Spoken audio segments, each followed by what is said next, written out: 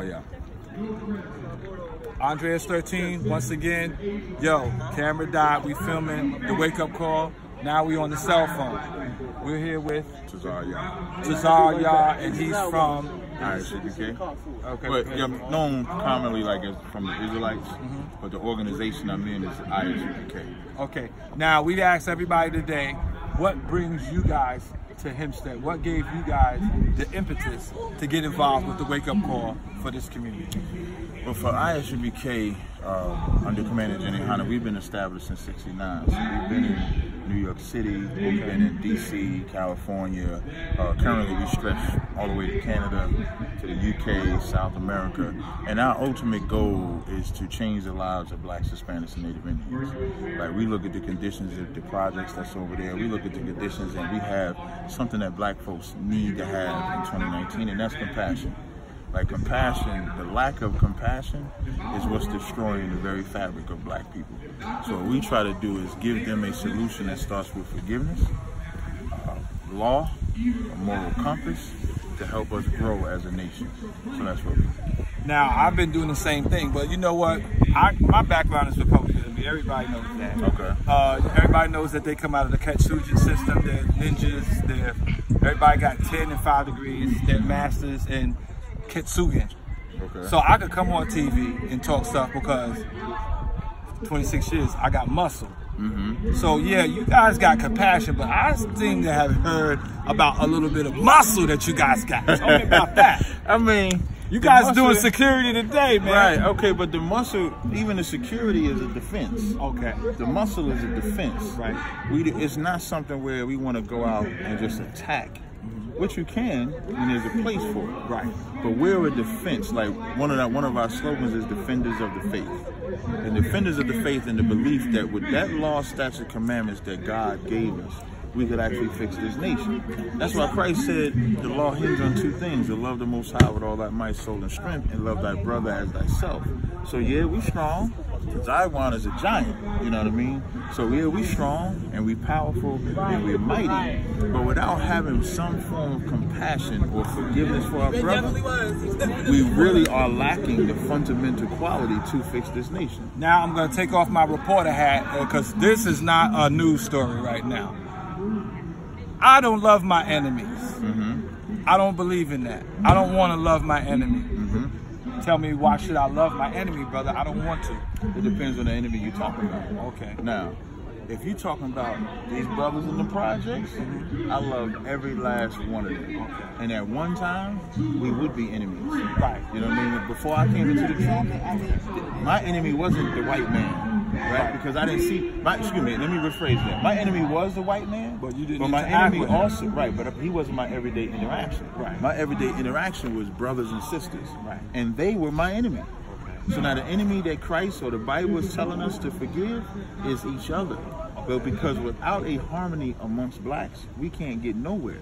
The white man will be our enemy to the day forever. He will always be my enemy. He will always be the one that oppresses my people, that enslaves my people, XYZ. But if we still think we're enemies with each other, we can't battle that. Like the white man, they'll have like, you know, president-elects, Democrat, Republican, XYZ.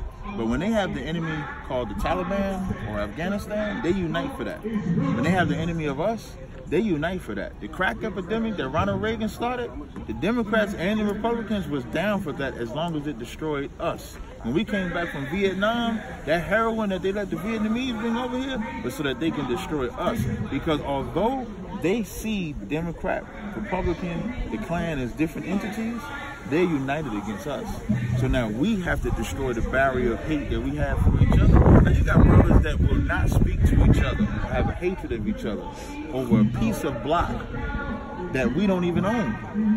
That barrier has to be destroyed. So just so we can be clear, when I'm talking about an enemy, I'm not talking about a white man or an Arab or anything like that. I'm talking about the enemies that we became with each other. That has to go. Now you see how I got him to give y'all that definition. See, I know how to do that. I know how to do that dance.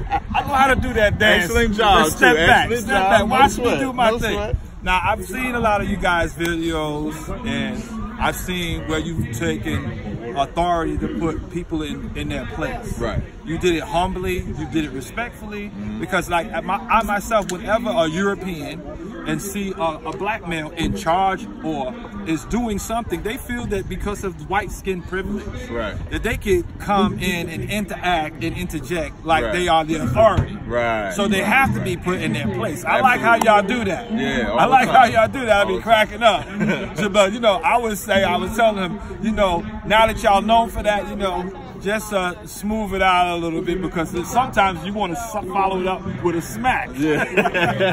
well, that, All right, back to things, your normal yeah, recording now. One, of the thing, one of the good things that you learn at ISUPK is extreme discipline. Okay. So, like how you said, you want to end it with a smack. We never get to that point. Like you would really have to threaten us to get to that point. You know what I mean? If you, like you said, you've seen the tape, so we have people screaming, yelling, wanting to threaten us with a fight or whatever. And there's a way that you can put that in place that in the Israelite School of UPK, you learn with the extreme discipline and protocols that we have in place. That's why you say we do it aggressively, we do it calmly. It depends on what the situation asks for. So there's times where I've had to get loud, but there's times where I could be cool and do the same thing. And when they walk away, it means nothing to me because I don't I don't have the emotion that comes with that because of the discipline that you learn at ISUPK. Okay, now I'm gonna ask you a question. What got you started in ISB? what start, got me started at ISUPK um, in about 2009. Like I used to be in the Christian church, so to speak, or and the closest I would say to Islam would be Malcolm. And I think everybody could gravitate to Malcolm because he was an eloquent speaker and he was compassionate. But I couldn't be a Muslim because of the Bible, because of my belief in Christ. So I started seeing the Israelites in you know, uh, about September of 2009 uh, around November, I kind of started taking it seriously. And then in February of, of 2010 is when I found ISUPK. And once I found ISUPK, the first speaking I saw was they had a white man on their knees kissing their feet. I saw that. From saw that, that, from that video, I was like, I was like this. I was like, okay, this is where I want to be because again, they had a level of discipline to where they was talking to the white man aggressive, like, nah, you're gonna get on your knees, you're gonna pay for what your ancestors did to us. And so that kind of got me locked in. And then I had what I said we needed in the beginning, which was the compassion. So from that, it was in Philadelphia. So I used to travel to Philadelphia for like two or three years straight, just coming to class, going to camp, learning what it takes to do this job. And so having that compassion for black people, because I was sick of like the drug dealing, the murder, uh, black women not having the man to show them the direction, our children not having nothing, nobody giving a damn about them. And I wanted to do something about it. And so we always talk, we always talking, but not a lot of walking. So I just wanted to walk and ISUPK taught me how to do this. So do you see that we have a, a, a since we have a little black renaissance going on in the last, I guess, five years. It seems like we have a black renaissance. Because it's lows and highs. Right. It seems like we have a, a black renaissance. What do you think about the diverse group of African American organizations that are coming to the forefront to defend our people. I think what you're starting to see is black people starting to finally get fed up with the oppression. The, the mysticism of the I have a dream that Martin Luther King destroyed us with is starting to now slowly start to wear off because we realize that his dream was a nightmare. Integration destroyed us um, loving the white man, that forgiveness that Martin Luther King was talking about, it set us back so far because when you think about Martin Luther King's dream, when he died, you had the Panthers that came back after that, that wanted to be militant. And then they were slaughtered. Right. And not only was they slaughtered, but now the thing became, if you're not going to do it like Martin, being nonviolent, then it wasn't really legit. And so now we're starting to see, is that so-called, I have a dream, didn't work. So now that's why, like you said, in the past five years, you start seeing all these black groups come up. Most recently, you have the ADOS group come up. But now you start seeing black people are fed up. Even the, um, we're finding out with the colleges that it wasn't good to leave the historical, we call them HBCUs because we left them. They would, they ain't no historical Notre Dame or historical Penn State because they never stopped going. They're historical black colleges because once we wanted to integrate, we started leaving those colleges and then establishing the white colleges. So now they're historical because we ain't had no more. Imagine if we would have never left. Imagine if the Negro League, I always bring this up in my speaking, we used to have our own league of baseball, not a team. And because of Jackie Robinson wanted to hit that white baseball, because we wanted to impress our daddy, we left a whole league. When you think about a league, right? If you go to Yankee Stadium, you ain't just watching the game. You might buy some memorabilia, so now you're buying the Yankee jerseys. You might get hungry, so now you're eating the hot So dogs. we just left a whole commerce. Thank you. You see how we fighting for businesses now? That Negro League provided a business, but integration destroyed that. So now we're starting to see the residual effects of that, and we're saying enough is enough. So now you have a bunch of black people. They may not be ready for the Bible learning who they are, but they are sure ready to separate from the so-called white man. And so now we have to capitalize on that. And so you capitalize on that by saying brothers can't be enemies to brothers anymore.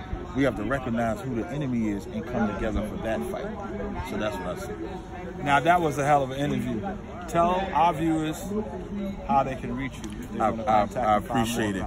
You can go to our website, ISUB, www.isupk.com. Um, we also on YouTube. If you just YouTube ISUPK, um, we have a radio show on Mondays called The Grill with Commander Jenny Ahana. I do a radio show every Thursday called Cross the Line Radio. The name of the channel is Cross the Line Radio. We have a headquarters here in uh, New York City where we have classes Monday through Friday um, at 2279 3rd Ave in Harlem, New York. You come there. Any questions, you can call me directly. And for the school number is 646-481-6315. With that, say shalom. Islam. All right, brother. I appreciate it.